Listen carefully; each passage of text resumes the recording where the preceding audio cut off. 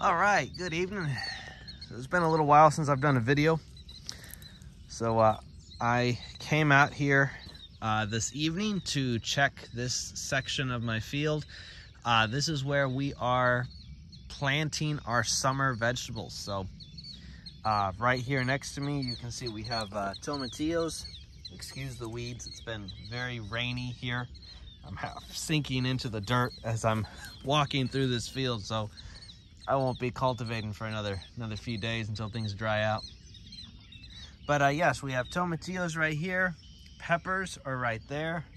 We have two beautiful rows of determinate tomatoes uh, right here. These are these have all just been planted within the last uh, two weeks.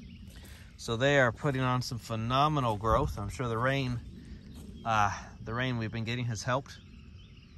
Um, we went crazy this year with peppers. Um, all different types. Hot peppers, sweet peppers, and everything in between.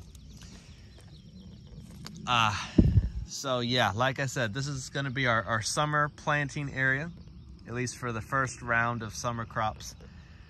Um, for the squash and a lot of the nightshades. And then we'll be putting corn and beans further on down there once I get it all mowed down and worked up. Um, but anyway, yeah, that's a little update on the crops that are going on now. Uh, we are past uh, any chance of a frost date here in Southeast Tennessee. So if you've been delaying planting your garden, oh yes, marigolds,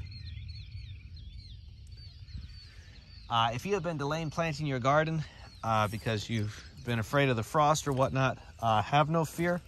Go ahead and get it planted.